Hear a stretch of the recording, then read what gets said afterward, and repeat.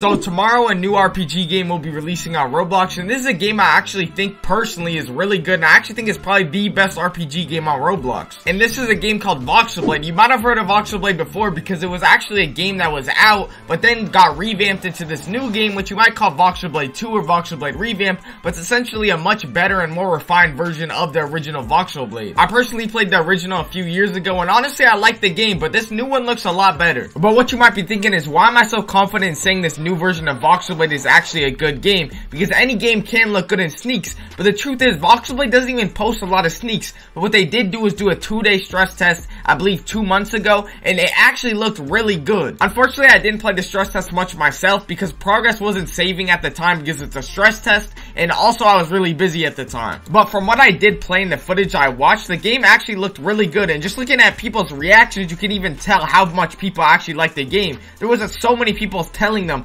don't even close the game. Leave it like this and then update it later because it actually closed down and now it's an even better version of that game that people already loved so much during the stress test. But what makes Voxlblade so good? So basically Voxlblade is your somewhat normal RPG game. Before you spawn in, you pick a race and these races aren't like pay to win spin systems. They do cost money but they're 50 Robux each race and it's pretty much nothing compared to what these other games be charging. But then you pick a small, medium, or heavy weapon and from there you build your sword. It's like your class. So you have a million different pathways you can bring it in and it leads you to a million different builds and that's what gives Voxlblade so much life and so much things to do is you can make literally a trillion different builds in this game. It's crazy. But the blade isn't the only thing you could customize in Voxlblade. You could also customize the handle which gives a million different effects and obviously there's a million different blades and handles. Then you have your race and you can also get separate blades and handles through, you know, bosses and different sort of uh, progression lines. Which reminds me of a very big difference that they added into this new Voxlblade which is there's a main progression line now. I'm not the Voxlblade expert here, so I could be wrong on some of the details, but I believe how the progression works now is you don't actually have to follow the main progression line, but it does exist, where you can now still go and do whatever you want, it's open world, and you don't have to follow it like word for word, bar for bar, but it does give you an option to kind of stay in a more structured gameplay, I guess. But I feel like this actually makes a big difference for how the game's gonna perform, because a lot of new players are gonna have a much easier time, because it kind of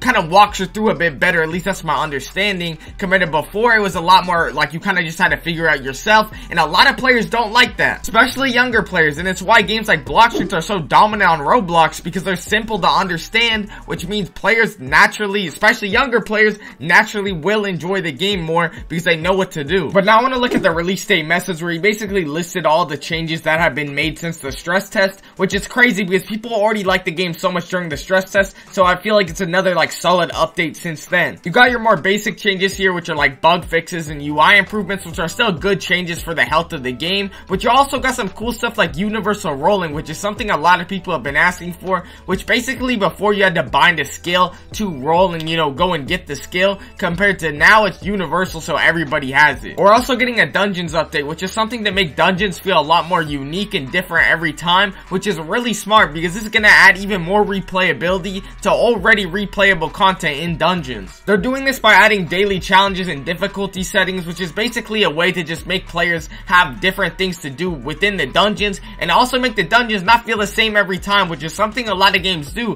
For example, like Grand Piece, dungeons are literally the exact same thing every time, you just AFK there and click one button. We're also getting a small Easter event, which I imagine is going to be on release, obviously, since Easter will be over by the time the update's actually out, or the game is actually out, not the update. But to me, the most exciting thing here is the new Boston event. It's a flying whale Boston. Reminds me of that episode of ReZero with the flying whale, if y'all know what I'm talking about. But either way, that looks like it's gonna be fun as hell to fight. I'm not gonna lie. But I want to keep this video short. I just want to let y'all know what y'all gotta look forward to tomorrow. I'm also tired as hell. I have not slept. I'm running on one hour of sleep, and that's why I've been tired in this video. I don't know if y'all could tell, but if y'all enjoy my content, I appreciate if y'all subscribe. I thank y'all. Love y'all. I'm gonna go to sleep now. Later.